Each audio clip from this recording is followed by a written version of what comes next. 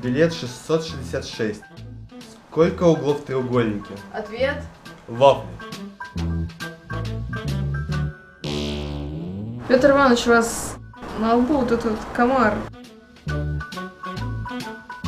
Петр Иванович, вы выглядите нездоровым. Возможно, у вас температура.